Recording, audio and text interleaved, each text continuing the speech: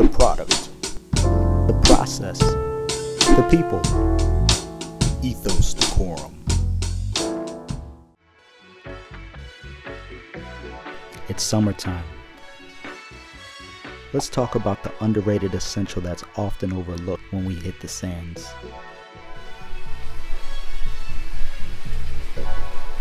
This is Jonathan from Ethos Decorum, and we all know it's bucket season, so let's get to it. You have to get an assortment of bucket hats for the season, for the summer. It's essential.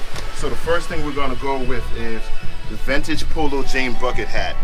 Has a military type vibe, has a safari vibe to it, khakis. I mean, timeless. You're gonna get one of these, go on eBay, pick something like that up. Second item we have is uh, Ethos Decorum one of one bucket hat. It has a Native American theme on there and it's one of one in perfect, has spots on there. This is an everyday bucket hat. Second, uh, third one would be our Parks Project bucket hat. Love this brand, love what, what they're doing with nature.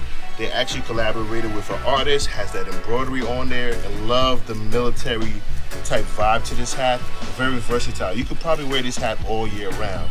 Fourth item, River is Wild, one of our favorite brands. Has a beautiful aesthetic, love the print.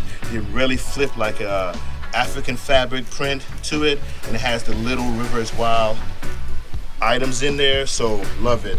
Fourth, uh, fifth item, once again, is another Ethos Decorum bucket hat um, with a vintage patchwork on there. Just chill. Last item, a polo crest bucket hat.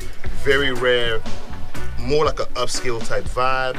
So these are pretty much our bucket hat selections for the summer.